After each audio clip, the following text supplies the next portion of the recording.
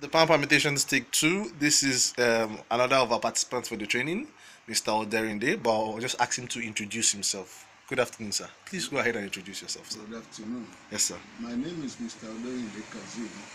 I'm the chairman and managing director of Carriage Farms Limited. So, sir. Uh, as a matter of fact, I had that privilege of uh, working as a civil servant for about 20 years. Wow, And, uh, wow, impressive, sir.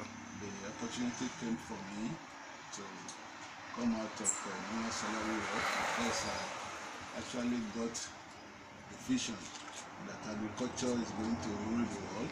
True. And uh, I quickly grabbed that opportunity and acquired some acres of land, Mhm. going into palm tree plantations and all this stuff. Yes, sir.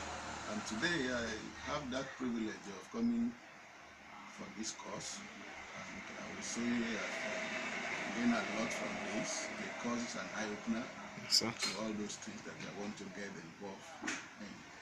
So I want to thank you and the organization for all that you guys have put up. Mhm. Have a very good uh, uh, program in place. Yes, sir. So I would want you to keep focusing on what you are doing and improve on it Yes, sir. because I've discovered that any country that cannot produce enough food to, To feed itself. a citizen, that country is doomed. No matter the amount of natural resources we might have. have.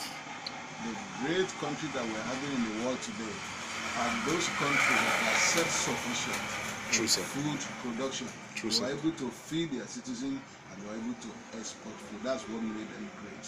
So please, let's keep the awareness uh, flying. Thank you. Thank you very much, sir.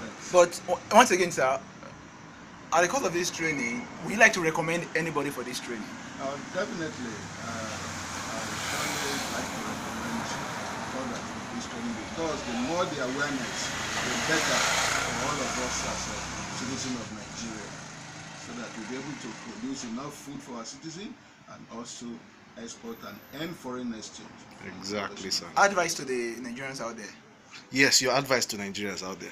Uh, like I've said before, any country that will not produce sufficient food for a citizen, that country is doomed. Uh, I want to advise every Nigerian to actually key in into this agricultural uh, product of a thing, food production.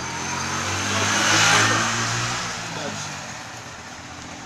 when you are on other employment, actually 60 to 70 percent of your salary actually goes into Feeding. feeding.